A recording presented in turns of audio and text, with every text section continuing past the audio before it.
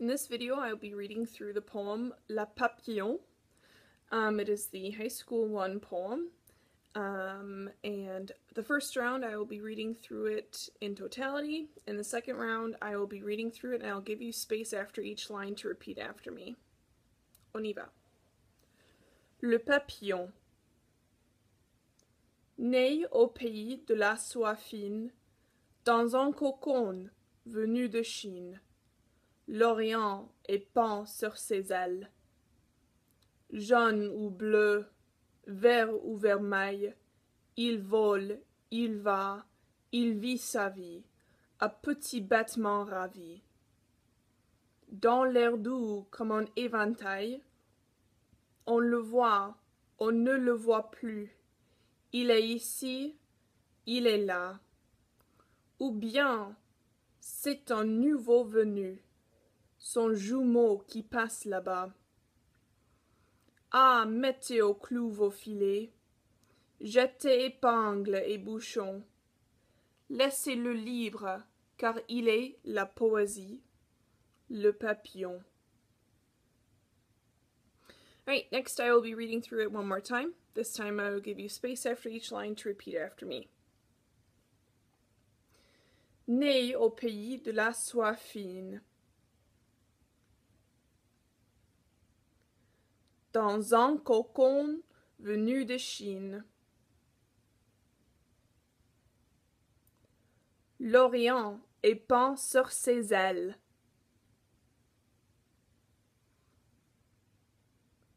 Jaune ou bleu, vert ou vermeil. Il vole, il va, il vit sa vie.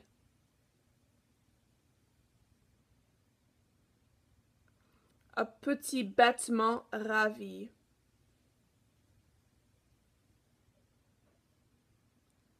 Dans l'air doux comme un éventail,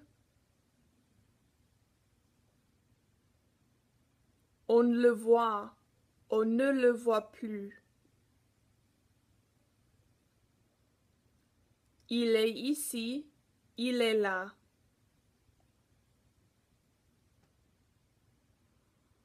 Ou bien c'est un nouveau venu. Son jumeau qui passe là-bas. Ah, mettez au clou vos filets. Jetez épingles et bouchons.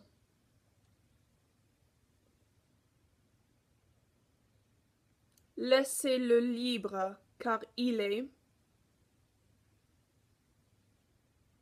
la poésie, le papillon.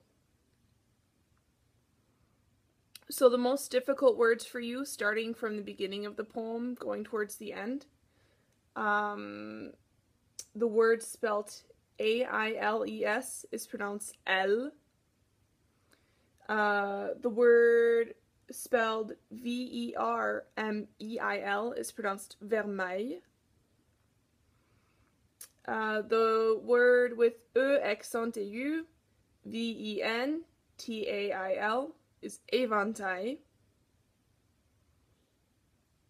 Next, the word pronoun uh, spelled F-I-L-E-T-S is filet.